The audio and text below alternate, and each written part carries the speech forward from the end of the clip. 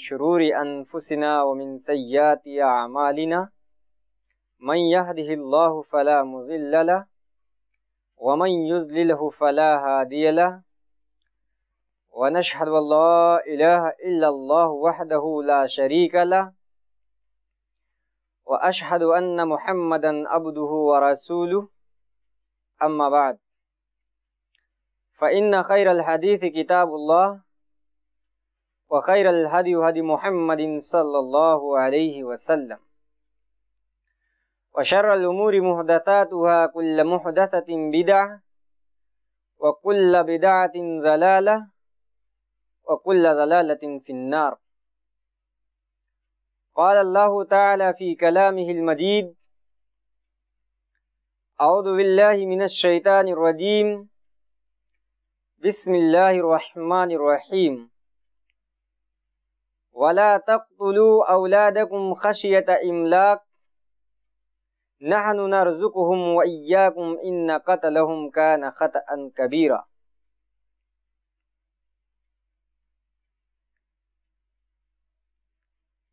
तमाम किस्म की तारीफ़ व तोसीफ़, हमद सना बड़ाई और बुज़ुर्गी, उस खाल के कायनात, मालिक अर्ज़ समा के लिए है। जिसने हम तमाम इंसानों को पैदा किया और हम सबको यूँ ही बेकार नहीं छोड़ा, बल्कि हम सब के रुश्द हिदायत के लिए अम्बिया कराम को मबूस किया। बेशुमार दरुदस्लाम नाजिल हो। अम्बिया कराम पर खसूस अल्लाह के आखिरी नबी, ताजदार मदीना, आमिना के लाल, जनाब मोहम्मद रसोल्ला सल्लल्लाहु अलैहि वसल्लम पर। उनके जुमला मुतबीन और सालिहीन पर। नाजरीन कराम, आज के दर्स में इंशाल्लाह हम कत्ल औलाद के मुतालिक कुछ बातें देखेंगे जिसको लोग एबोशन का नाम देते हैं।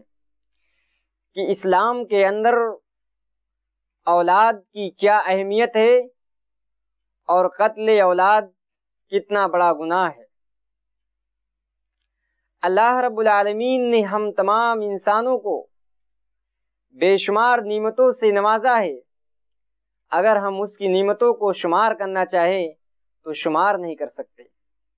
उन्हीं नेमतों में से एक नीमत अल्लाह रब्बुल आलमीन ने हमें ये औलाद के तौर पे दी है। ये औलाद वालदेन के पास अमानत है। औलाद ये वालदेन की ज़िंदगी का एक वास्ता हुआ करते हैं। उनके नक्शे कदम को मिटाने की कभी कोशिश नहीं करना चाहिए। औलाद, ये वालदेन के आराम राहत, सुकून और इसी तरीके से उनके तस्वुर का मरकज हुआ करते हैं। औलाद, वालदेन के लिए बुढ़ापे का सहारा हुआ करते हैं। जब वो बुढ़ापे की उम्र को पहुँच जाते हैं तो औलाद ही उनकी मदद करती है, उनकी खिदमत करती है। तो औलाद जो है ये वालदेन का सहारा हुआ करते हैं। खानदान वालों की उनसे बहुत बड़ी बड़ी उम्मीदें हुआ करती हैं। इसीलिए इस्लाम ने एबोशन या इसी तरीके से इसकात हमल को बहुत बड़ा गुनाह करार दिया। और बच्चे के पैदा होने के बाद उसे कत्ल करने को जाहिलाना रस्म रवाज के साथ जोड़ दिया। अरब के लोग इतने ज़्यादा संगदिल और बेरहम थे कि बेरहमी और संगदिली के साथ अपने बच्चों का कत्ल कर दिया करते थे। और ये काम कोई दूसरा नहीं करता था, उनके वालदेन ही किया करते थे। कत्ल औलाद की अरबों के यहाँ तीन शक्लें पाई गई। सबसे पहली शक्ल ये थी कि अपने देवी देवता की रजामंदी और खुशनुदी हासिल करने के लिए वो अपने बच्चों को कत्ल कर दिया करते थे। वो नज़र मानते थे कि अगर हमारी ये नज़र पूरी हो गई तो हम अपने बच्चे का भेड़ चढ़ाएँगे, उसे जबा कर देंगे। और ये बीमारी सिर्फ़ अरबों के यहाँ नहीं, बल्कि बहुत सारे बुत परस्त कौमों के यहाँ भी पाई जाती थी। रूमतुल कुबरा के अजीम शान मुतमद्दिन निज़ाम के अंदर ये बात दाखिल थी कि बाप अपने बच्चे को अपने हाथ से जबा कर सकता है, कत्ल कर सकता है, उसकी कोई बाज पुरुष नहीं। जब इस्लाम आया तो इस्लाम सिर्फ़ अरबों ही को नहीं बल्कि जिनके अंदर, जिन कौमों के अंदर इस किस्म की बुराई पाई जाती थी, उन्हें रोका। सूर्य मायदा सूर्य नाम उसमें अल्लाह रब्बुल आलमीन फरमाता है व कदालिका ज़य्यना लिकसीर मिनल मुशरिकीना, कत्ल औलादिहिम शुरकाहुम वलियरदुहुम, वलियलबिसु अलैहिम दीनहुम, वलौ शाअ अल्लाहु मा फअलुहु फदरहुम बिमा यफ्तरून। अल्लाह रब्बुल आलमीन फरमाता है कि इसी तरीके से मुशरिकीन के लिए उनके शुरका ने कत्ले औलाद को बहुत ज़्यादा मुजयन कर दिया और उन्हें शक में डाल दिया ताकि उन पर उनके दीन को मुलतबिस कर दें। अगर अल्लाह रब्बुल आलमीन चाहता तो ये काम वो लोग नहीं कर सकते थे। अल्लाह रब्बुल आलमीन कह रहा है कि उन्हें उनकी इफ्तरा परदाजी पर उन्हें उनके इस काम पर छोड़ दीजिए। सूर्य नाम, आयत नंबर 140 में अल्लाह रब्बुल आलमीन फरमाता है, कद खसिरल्लदीन कतलु औलादहुम सफहन बगैर इल्मिन कि वो लोग खसारे में, नुकसान में पड़ गए, जिन लोगों ने लाइल्मी में अपने बच्चों को कत्ल कर दिया। यानी जिनके पास इल्म नहीं था, जहालत पाई जाती थी, इस्लाम से नावाकिफ थे और उन्होंने अपने लाइल्मी में अपने बच्चों को कत्ल कर डाला। तो कत्ले औलाद की अरबों की यहाँ सबसे पहली शक्ल यही थी। कत्ले औलाद की दूसरी शक्ल ये थी कि जब अरबों के यहाँ कोई बच्ची पैदा होती थी तो बच्ची का बाप बहुत ज़्यादा शर्मिंदा होता था, उसका चेहरा काला पड़ जाया करता था, लोगों से अपने चेहरे को छिपाता फिरता था अंदर अंदर खून का घूट पिया करता था। वो सोचता था, अगर इसे ज़िंदा छोड़ देता है तो उसके लिए जिल्लत और रसवाई के सिवा और कोई चीज़ नहीं है। या उसे मिट्टी के अंदर ही दबोच दे, उसी में उसके लिए भलाई है। सूर्य नहल, आयत नंबर अट्ठावन में अल्लाह रब्बुल आलमीन ने इसी चीज़ का तस्करा किया है। वाइदा बुशिर आहदुहुम बिल उनसा, जल्ला वजहु मुसवद्दन वहुवा कजीम।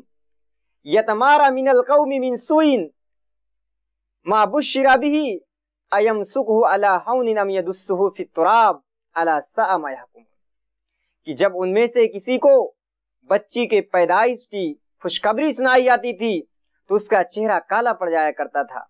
वो लोगों से अपने चेहरे को छिपाता हुआ इधर उधर घूमता फिरता था। वो अंदर अंदर ही घुट जाया करता था। वो सोचता था अगर इसे मैं ज़िंदा छोड़ता हूँ तो जिल्लत और रसवाई के सिवा मेरे लिए और कोई चीज़ नहीं है। और यह सोचता था, या उसे ज़िंदा ले जा करके दफना दें, उसी में उसके लिए भलाई है। मेरे भाइयों, ये कत्ले औलाद, चाहे वो कत्ल की शक्ल में हो, या ज़िंदा दरगोर की शक्ल में हो बहुत बड़ा गुनाह है। इमाम कुर्तबी रहमल्ला इस आयत करीमा की तफसीर करते हुए बयान करते हैं। कहते हैं कि जब अरबों के यहाँ कोई बच्ची पैदा होती थी तो लड़की का बाप उसे ऊनी जुब्बा पहना करके जंगल में ले जा करके छोड़ दिया करता था। वहाँ पे वो बकरियाँ चराया करती थी। उसके बाद जब वो 12 साल की बच्ची हो जाती थी, उसे मारना चाहता था तो किसी दूसरे जंगल में जाकर के गड्ढा खोदता था। उसके बाद उसकी माँ के पास आता था, कहता था, बच्ची को खूबसूरत लिबास पहना दो मैं इसे ले जाकर के इसके नलिहाल घुमा लाऊं। चुनानचा वो बच्ची को जंगल में ले जाता, फिर उस बच्ची से कहता, बेटी, इस गड्ढे के अंदर झाँक। जब वो झांकती थी तो पीछे से धक्का दे करके उसे ढकेल देता था, फिर उसके ऊपर से मिट्टी डाल दिया करता था। कुरानी करीम इसी के मुतालिक दूसरी जगह फरमाता है, वाइदल मऊदत सुइलत बे जम्बिन कोतिलत। कि ज़िंदा दरगोर की गई लड़की से अल्लाह रब्बुल आलमीन पूछेगा कि तुझे किस जुर्म में किस गुनाह की वजह से दरगोर किया गया? तुझे किस गुनाह की वजह से दफनाया गया? तो जब इस्लाम आया तो इस्लाम ने उनके इस तस्वुर को खत्म किया और लड़कियों के मकाम मरतबा को बतलाया कि लड़कियाँ जो हैं, ये दुखूल जन्नत का ज़रिया है। कि जिसके पास लड़कियाँ हैं, उनकी सही परवरिश करता है तो उनकी वजह से वो जन्नत के अंदर दाखिल होगा। बुखारी की रिवायत अल्लाह के रसूल जनाब मोहम्मद वसल्लम फरमाते हैं मनिब तुलिया मिन हादल बनाती बिशईन जा यौमल क़यामती अना वह हुआ। कि जो आदमी बच्चियों के ज़रिया किसी चीज़ में आजमाया गया तो क्यामत के दिन वो मेरे साथ आएगा। बुखारी शरीफ की एक दूसरी रिवायत है। अल्लाह के रसूल सल्लल्लाहु अलैहि वसल्लम फरमाते हैं, मन आला जारियतैन नार कि जिसने दो बच्चियों की परवरिश की यहाँ तक कि वो बुलूगत की उम्र को पहुँच गई उन्हें तालीम दिया उसके बाद उनकी शादियाँ कर दी कुन्न लहू सितरम मिनन नार तो उसके लिए जहन्नम से बचने का पर्दा हुआ करेंगे अबू दाऊद की एक रिवायत है अल्लाह के रसूल सल्लल्लाहु अलैहि वसल्लम फरमाते हैं कि अगर किसी के यहाँ बच्ची पैदा होती है फिर उसे वो ज़िंदा छोड़ देता है कत्ल नहीं करता है। उसे जलील नहीं करता है और अपने बच्चों से ज़्यादा उससे मोहब्बत करता है। तो अल्लाह रब्बुल आलमीन उसे जन्नत के अंदर दाखिल कर देगा। तो जब इस्लाम आया तो इस्लाम ने ये बच्चियों को मकाम मर्तबा दिया। बच्चियों की पैदाइश को दुखोले जन्नत का ज़रिया करार दिया। तो अरबों के यहाँ कत्ल औलाद की ये दूसरी शक्ल थी। कत्ल औलाद की अरबों की यहाँ तीसरी शक्ल। तीसरी शक्ल ये थी कि फकर फाका, तंग दस्ती, मुहताजी की वजह से अपने बच्चे को वो लोग कत्ल कर दिया करते थे। वो सोचते थे, ये बच्चा हमारे आमदनी में शरीक हो गया है, खाने वाले मुँह ज़्यादा हो गए हैं और कमाने वाले हाथ कम हैं। इसकी खुराक, इसकी गिजा मैं कहाँ से लाऊँगा? मैं अकेले कमाने वाला हूँ। चुनानचा वो भी फक्र फाका और तंग दस्ती की वजह से अपने बच्चे को मार डालता था। आप अखबार को उठा के पढ़िए। देखिए अखबार में इस तरह के बहुत ज़्यादा वाकयात लिखे होते हैं, जहाँ पे फक्र फाका तंग दस्ती पाई जाती है। वहाँ के लोग अपने बच्चों को मार डालते हैं।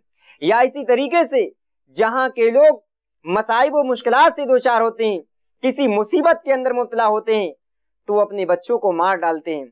मेरे भाइयों, इस जुल्म की सबसे बड़ी वजह इंसान की जहालत है कि इंसान अपने आप को और अपने मुतलिकीन का वो रिस्क रसा समझ बैठा, वो सोचता है कि मैं ही इनको रिस्क देने वाला हूँ। मेरे अलावा कोई रिस्क देने वाला नहीं है। हालाँकि ये औलाद उसके पास अमानत है। अल्लाह रब्बुल आलमीन ने उसे अमानत के तौर पर दी है। तो उसे शरई और फितरी हदूद में रह करके अल्लाह रब्बुल आलमीन ने जो उसे ज़िम्मेदारी दी है, उसे अपनी ज़िम्मेदारी को पूरा करना चाहिए।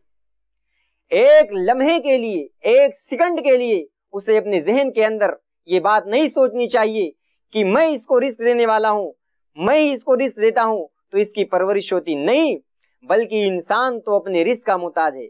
वो तो खुद अपने रिस्क का मालिक नहीं है। अल्लाह रब्बुल आलमीन खुद उसे रिस्क देता है तो उसे जाकर के रिस्क मिलता है। यहाँ तक कि बच्चा जो अपनी माँ के छाती से दूध पीता है, माँ भी उसकी मालिक नहीं है, बल्कि अल्लाह रब्बुल आलमीन उसका मालिक होता है और अल्लाह रब्बुल आलमीन ही उसे दूध पिलाता है। अल्लाह रब्बुल आलमीन ने दुनिया के अंदर जितनी भी चीज़ें पैदा की, चाहे वो मखलूक हो, हैवान हो, या जमादात हो, या नबातात हो, चाहे वो चौपाए हो, कोई भी हो, हर एक को अल्लाह रब्बुल आलमीन रिस्क देता है। अल्लाह रब्बुल आलमीन ही की जिम्मा, उनकी रिस्क की ज़िम्मेदारी है। जब अल्लाह ने पैदा किया है तो अल्लाह ने उनकी रिस्क की ज़िम्मेदारी भी ली है। सूर्य हूद, आयत नंबर छह में अल्लाह रब्बुल आलमीन फरमाता है, वमा मिन दाब्बतिन फिल अर्द इल्ला रिज़्कुहा कि ज़मीन में जो भी चौपाए हैं, उनकी रिस्क की ज़िम्मेदारी अल्लाह रब्बुल आलमीन के पास तो ये इजाज़त हमें और आपको कौन देता है कि हम फकर फाकार तंग दस्ती की वजह से अपने बच्चों को मार डालें या उन्हें ले जाकर के ज़िंदा दरगोर कर दें कौन इजाज़त देता है? मेरे भाइयों, आज बहुत सारी हुकूमतें भी अपने दायरे इख्तियार से निकल करके, शरई हदूद से तजावुज करके एक खास मनसूबा बंदी करने लगी हालाँकि उनके लिए दुरुस्त और माकूल बात यह थी कि मुल्क के अवाम के तरक्की के लिए वो सोचते, दुनिया के बहरोबर खुशकोतर चप्पे चप्पे और गोशे गोशे का वो छान मार डालते। उसकी राह में जो भी पत्थर आते, उन्हें उलट डालते। या इसी तरीके से मुल्क के अवाम के माशी तरक्की के बारे में सोचते, चाहे वो प्राइवेट हो, या अवाम हो, चाहे वो कोई मुल्की हो, या खानदानी हो, अदल इंसाफ से तो सफ़ाई की उन्हें तरबियत देते। लेकिन उनके लिए बात बिल्कुल दुरुस्त नहीं है। कि वो अपने दायरे इख्तियार से निकल करके एक खास मनसूबा बंदी करें, एक खास प्लान बनाएँ कि हम इतने तादाद में गजा को पैदा करेंगे, खुराक को पैदा करेंगे और इतने तादाद में भी हम लड़कों की पैदाइश करेंगे। अगर कोई आदमी हमारे गिनी चुनी रोटी और बोटी के अंदर दखल अंदाजी करेगा तो हम साइंस के ज़रिया से हम उसको मार डालेंगे। अगर गौर किया जाए तो आज के लोग जो ये बर्थ कंट्रोल या इसी तरीके से तहदीद नस्ल या इसकाते हमल का जो मामला करते हैं, अगर देखा जाए तो अरबों के इस काम से मिलता जुलता है। मेरे भाइयों, अरब के लोग अपने बच्चों को इस वजह से मारते थे, वो कहते थे कि अल्लाह रब्बुल आलमीन बच्चों की तो इतना ज़्यादा पैदावार कर रहा है, लेकिन उसके मुताबिक वो रिस्क नहीं देता है। तो अपना गुस्सा अपने बच्चों को कत्ल करके अदा किया करते थे। लेकिन आज का इंसान तालीम याफ्ता है। इतना मुहजब इंसान है कि उसने उसका नाम बदल दिया। मेरे भाइयों, नाम गर्चे अलग हैं, लेकिन दोनों काम एक ही हैं। अरब के लोग जाहिल थे, जहालत की बिना पर वो लोग एक काम कर रहे थे। अल्लाह रब्बुल आलमीन ने उन्हें इससे मना किया, वो उससे फ़ौरन बाज आ गए। लेकिन आज का इंसान इस काम से बाज आने वाला नहीं है।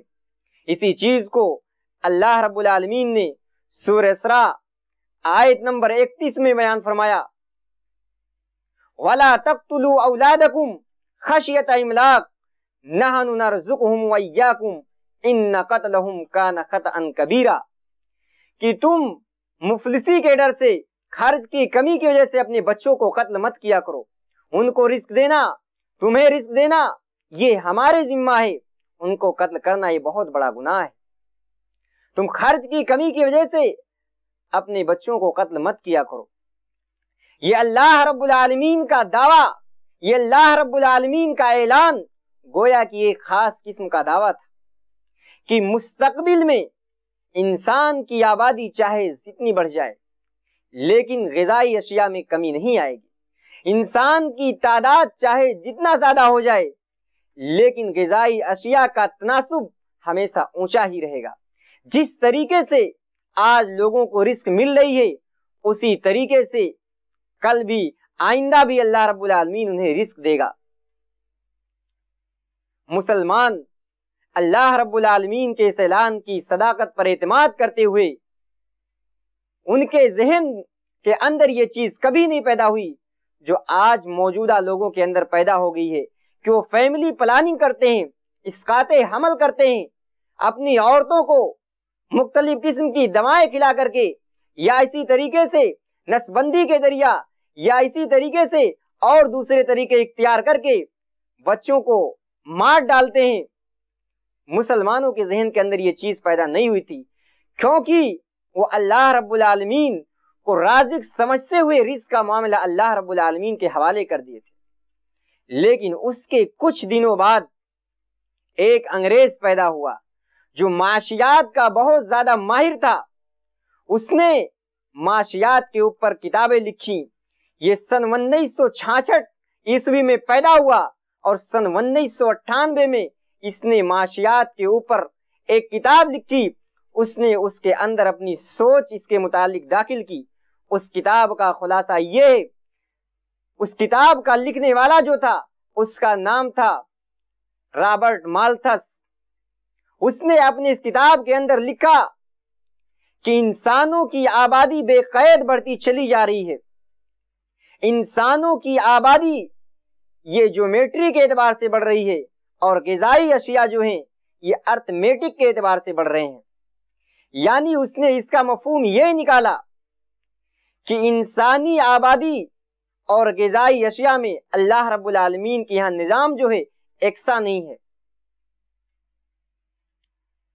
इंसानी आबादी ज्योमेट्री के एतबार से एक, दो, चार, आठ, सोलह, बत्तीस करके बढ़ता है और गजाई अशिया जो है, एक, दो, तीन, चार करके बढ़ रहा है। यानी इंसानी आबादी जो है, बहुत तेज़ी के साथ बढ़ती चली जा रही है और गजाई अशिया जो है, गजाई चीज़ें जो हैं बहुत सुस्त रफ्तारी के साथ बढ़ रही हैं। तो उसने उसका ये मफहूम निकाला कि अगर इस तरीके से इंसानों की आबादी बढ़ती गई तो रिस्क की कमी हो जाएगी और बहुत सारे लोग भुखमरी के शिकार हो जाएँगे, जिसकी वजह से बहुत सारे लोग मर जाएँगे तो इंसानों की आबादी खत्म हो जाएगी। मालथस की सोच ने लोगों के जहन पे बहुत ज़्यादा असर डाला। यहाँ तक कि बहुत सारे लोग इसकी ताइद में लिखने वाले और बोलने वाले पैदा हो गए और पूरी दुनिया के अंदर नस्लबंदी और फैमिली प्लानिंग होने लगी। उसके कुछ दिनों के बाद मुहक्कीन ने उसकी तहकीक की। मस्टर ग्वाइन डायर ने इसके किताब का खुलासा किया और लिखा कि मालतस जो है, ये झूठा पैगंबर है। इसने ये झूठ दावा किया है, इसको मरे हुए 150 साल हो गए, लेकिन इसका दावा अभी पूरा नहीं हुआ। इसलिए कि इंसानों की आबादी जिस वक्त उसने दावा किया था, उसके मुकाबले में दुगना चौगुना कई गुना बढ़ चुकी है। मालतस का जो दौर था, वो अर्थमेटिक जरात का दौर था। उसे मालूम नहीं था कि इसके बाद बहुत जल्दी साइंसी दौर आने वाला है। आज देखिए, साइंस ने कितना ज़्यादा तरक्की किया। जहाँ पे कुछ नहीं पैदा होता था, वहाँ पे आज बहुत सारे पौधे उगाए जाते हैं। बहुत सारी मशीनें ईजाद की गई। मशीनों के ज़रिया पानी चला करके बहुत सारी खादें पैदा की गई, जिन्हें डाल करके आदमी बहुत सारी चीज़ों को वहाँ पे उगाता है। या इसी तरीके से बहुत उम्दा किस्म की बीज निकाली गई, जिन्हें इंसान जिनके ज़रिया से खेती करता है और बहुत उम्दा किस्म की फ़सल पैदा करता है। पैदावार में बहुत ज़्यादा इजाफा होता है और इंसानों की आबादी इस वक्त बहुत ज़्यादा बढ़ चुकी है और फिर भी गजाई अशिया का तनासब बहुत ज़्यादा है। यानी इंसान का गजा घट नहीं सकता है। अल्लाह रब्बुल आलमीन ने इसकी ज़िम्मेदारी ली है। तो मेरे भाइयों ये कत्ले औलाद की अरबों के यहाँ तीन शक्लें पाई जाती थी। कत्ले औलाद ये बहुत बड़ा गुनाह है। अगर कोई आदमी एक इंसान को कत्ल करता है एक जान लेता है तो गोया कि वो पूरे इंसानियत की जान को लेता है। अल्लाह रब्बुल आलमीन सूरे मायदा आयत नंबर 32 में फर, फरमाता है औ फसाद इन फिल अर्दी फक अन्नमा कतल नास जमिया वमन हया फक अन्नमा अहयन नास जमिया कि जिसने किसी नफ्स को कत्ल किया या ज़मीन के अंदर फसाद किया, गोया कि उसने पूरे इंसानियत को कत्ल किया, पूरे इंसानों का खून बहाया और जिसने किसी एक इंसान की जान को बचा ली, गोया कि उसने पूरी इंसानियत की जान को बचा लिया। अल्लाह के रसूल जनाब मोहम्मद सल्लल्लाहु अलैहि वसल्लम की सुन्नत की मुखालफत हो रही कत्ल औलाद करके हम अल्लाह के रसूल सल्लल्लाहु अलैहि वसल्लम की सुन्नत की मुखालफत करते हैं। अल्लाह के रसूल सल्लल्लाहु अलैहि वसल्लम ने तो हमें ज़्यादा बच्चा पैदा करने वाली बीवी से शादी करने का हुक्म दिया था। अल्लाह के रसूल सल्लल्लाहु अलैहि वसल्लम ने कहा था, ज़्यादा बच्चा पैदा करने वाली बीवी से शादी करो, ताकि मैं क्यामत के दिन देगर उम्मतों पर फख्र करूँ। अबू दाऊद की रिवायत है, अल्लाह के रसूल जनाब मोहम्मद रसोल्ला फरमाते हैं तसवजुल वदूद अल वलूद फ़इन्नी मुकातिल उमम यौम क़यामा कि तुम ज़्यादा मोहब्बत करने वाली, ज़्यादा बच्चा पैदा करने वाली औरत से शादी करो, ताकि मैं क्यामत के दिन दूसरी उम्मतों पर इसके ज़रिया फख्र करूँ। सहाब कराम ने अल्लाह के रसूल जनाब मोहम्मद वसल्लम से सवाल किया। बुखारी की रिवायत है कि अल्लाह के रसूल अलैहि वसल्लम हम जंग में होते हैं, हमें औरतें हासिल होती हैं, हम गैर शादी शुदा होते हैं, हमारी शहावतें भड़क जाती हैं। अल्लाह के रसूल सल्लल्लाहु अलैहि वसल्लम, क्या हम अज़ल कर लिया करें? अल्लाह के रसूल सल्लल्लाहु अलैहि वसल्लम ने फरमाया मामिन नस्मतिन कायनतिन इल्ला वहिया कायना कि उनसे जो भी नस्ल आने वाली होगी, जो भी बच्चा पैदा होने वाला होगा, हो करके रहेगा। चाहे जो भी तरीका तुम उसके लिए इख्तियार कर लो, यानी चाहे तुम अजल करो या उसके अलावा कोई दूसरा तरीका इख्तियार करो, हर हाल में अल्लाह रब्बुल आलमीन तुम्हारे तकदीर के अंदर जो भी लिखा होगा वो हो करके रहेगा। अगर बच्चे की पैदाइश लिखी होगी तो तुम कुछ भी कर डालो, बच्चा पैदा होकर के रहेगा। मेरे भाइयों, ये कत्ले औलाद बहुत बड़ा गुनाह है। कबीरा गुनाहों में इसको शुमार किया गया है। अल्लाह के रसूल सल्लल्लाहु अलैहि वसल्लम ने फरमाया कि कबीरा गुनाहों में से वकूकुल वालिदैन, वालदेन की नाफरमानी करना है, ववादल बनाती और लड़कियों को ज़िंदा दरगोर करना है। तो मेरे भाइयों, हमें इससे बचना चाहिए। हमें